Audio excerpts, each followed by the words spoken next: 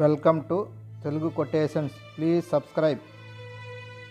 Lakshmi పొద్దున్నే ఐదు గంటలకు నిద్ర లేచి ఇల్లు వాకిళ్ళు శుభ్రం చేసుకుని స్నానాలు పూర్తయ్యాక దేవుడి గదిలో దీపం వెలిగించుకొని వెంటనే వంటగదిలోకి వచ్చేసింది. టీ తయారు చేయడం కోసం పొయ్యి మీద పాలు పెట్టి పిల్లల్ని స్కూల్కి రెడీ చేయడానికి నిద్రలేపింది. టీ మరిగాక భర్తకి అత్తామామలకి ఇచ్చింది. ఆ తర్వాత పిల్లల కోసం దోశలు వేయడం మొదలుపెట్టింది. పిల్లలు రెడీ అయిపోయి టిఫిన్ చేశాక స్కూల్ వ్యాన్ వచ్చేసింది. పిల్లల్ని వ్యాన్ ఎక్కించేసి టేబుల్ మీద ఉన్న ప్లేట్స్ తీసి సింక్లో పెట్టేసింది. ఈలోపు భర్త షాప్కి వెళ్ళడానికి తయారవుతుంటే అతనికి కావలసిన వస్తువులు తీసి ఇచ్చి వెంటనే వంటింట్లోకి వెళ్ళి భర్త కోసం దోశలు వేయడం మొదలుపెట్టింది.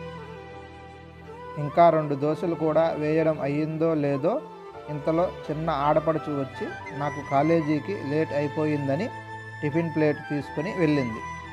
అప్పుడే మరిది కూడా యూనివర్సిటీకి వెళ్ళడానికి రెడీ అయిపోయాడు. ఇంకా త్వరగా భర్తకి మరిదికి దోశలు వేసి టేబుల్ మీద పెట్టింది.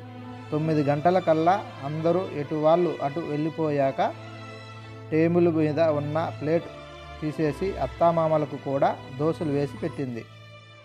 వాళ్ళు తినేలోపు వంటిల్లు శుభ్రం చేసుకుని గిన్నెలు తోముకుంది. అప్పటికే టైం పది అయిపోయిందని వాషింగ్ మిషన్లో బట్టలు వేసి ఆమె తినడానికి దోశలు వేసుకోవటానికి వంటింట్లోకి వెళ్తుంటే ఈలోపు బెల్ మోగింది. పెద్ద ఆడపడుచు వాళ్ళు ఇద్దరు పిల్లలు ఇంటికి వచ్చారు. వచ్చిన అతిథుల కోసం టీ టిఫిన్ తయారు చేసి పెట్టింది. అప్పటికే టైం పదకొండున్నర అయింది. ఇంకా పిల్లలకి మధ్యాహ్నంకి భోజనం తయారు చేయాలని వంటింట్లోకి వెళ్తుంటే ఇంతలో మీ ఆడపడుచు కోసం మంచి రుచికరమైన భోజనం తయారు చేయి అని అత్తగారి పిలుపు వినపడింది. దాంతో ఆడపడుచు కోసం అని స్పెషల్గా వంటలు తయారు చేసి పెట్టింది. ఈలోపు టైం ఒకటిన్నర అయిపోయేసరికి పిల్లలు స్కూల్ నుండి వచ్చేసి కాళ్ళు చేతులు కడుక్కొని బట్టలు మార్చుకున్న తర్వాత వాళ్ళకి అన్నం తినిపించింది. అప్పుడే కాలేజీ నుండి చిన్న ఆడపడుచు మరిది కూడా తిరిగి వచ్చేశారు.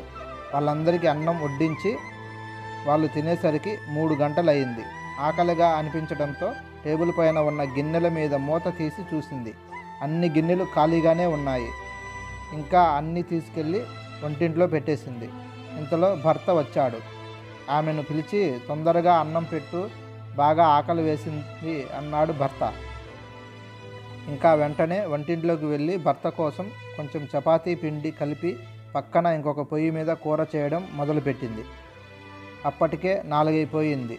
టేబుల్ దగ్గర కూర్చున్న భర్తకి భోజనం పెడుతుంటే రా నువ్వు కూడా తిను అని భర్త అనడంతో ఆశ్చర్యంగా చూసింది భార్య. ఆమె పొద్దున్నుండి ఏమీ తినకపోవడంతో ఇంకా భర్తతో కలిసి తినడానికి కూర్చుంది. భర్త తన చేతితో ఒక ముద్ద నోట్లో పెట్టగానే ఆమె కళ్ళల్లో నీళ్ళు తిరిగాయి. అది చూసిన భర్త ఏడుస్తున్నావా? ఎందుకు? అని అడిగితే నేను ఈయనకి ఏమని చెప్పాలి? ఆయనకేం తెలుసు?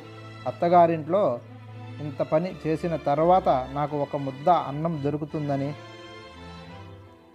కానీ అందరూ ఇంట్లో ఊరికే కూర్చొని తింటున్నావు కదా అని అంటారు. అని కానీ మనసులో అనుకుని భర్తకు ఏమీ లేదు అని సమాధానం ఇచ్చింది దానికి ఈ ఆడోళ్ళు ఎంత తెలివి తక్కువ వాళ్ళు కారణం లేకుండానే ఏడుస్తుంటారు అంటాడు భర్త. ఇంటి పట్టునే ఉండి అన్ని పనులు చక్కదిద్దుకుంటూ అందరి బాగోగులు చూసుకునే జీతం భత్యం లేని ఒకే ఒక జీవి భార్య.